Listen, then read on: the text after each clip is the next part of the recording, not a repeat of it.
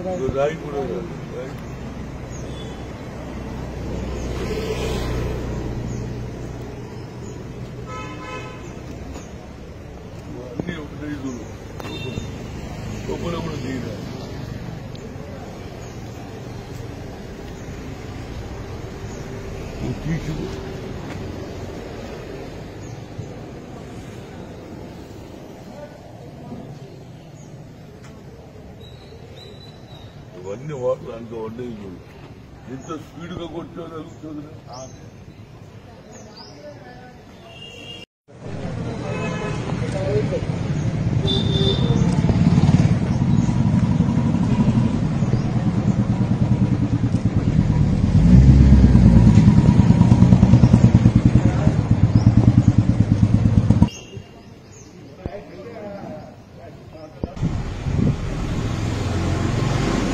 రాజు వచ్చి మరి రాళ్ళతో కొట్టిన కారును ధ్వంసం చేశారు లక్కీగా నాకు కొత్త కారు ఉంటే ఇంకా పెద్ద డేంజర్ ఉండే ఇది కరోనా మంచిది కొట్టి వెళ్ళిపోయారు మా చౌకీదారు పడుకుంటే సపోర్ట్ చేశారు కూడా వాళ్ళు వెళ్ళిపోయారు ఎదురు కూర్చోరు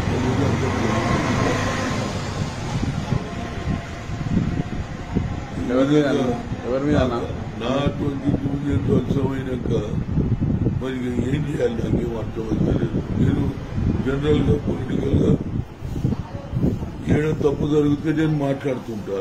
మరి ఇది ఎవరు చేసిండనే దాని మీద ఎంక్వైరీ చేయాలి. ఇవాళ ఇది జరిగింది రేపు ఇప్పుడు జరగవచ్చు. అనేది నా ఉద్దేశం?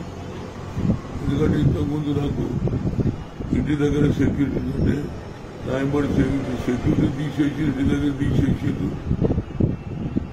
ఒక మాజీ పీసీసీ ప్రెసిడెంట్ మాజీ మంత్రిగా నా ఇంటి మీదనే జరిగితే దీని మీద ఎవరు బాధ్యులు అనేది నా ఉద్దేశం.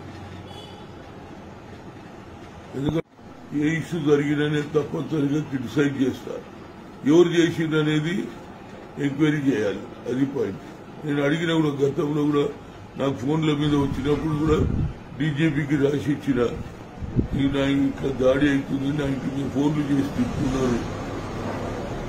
మరి మాకు సెక్యూరిటీ ఇవన్నీ కూడా అడిగా. ఇంతవరకు సెక్యూరిటీ లేదు. ఇంతకుముందు నా ఇంటి దగ్గర ఉంటుంటే నాకు ఇద్దరు చేసుకొని ఇద్దరు అది కూడా లేదు. అది కూడా తీసేసి అనేది నా ఉద్దేశం. అది ఎందుకు జరుగుతుంది?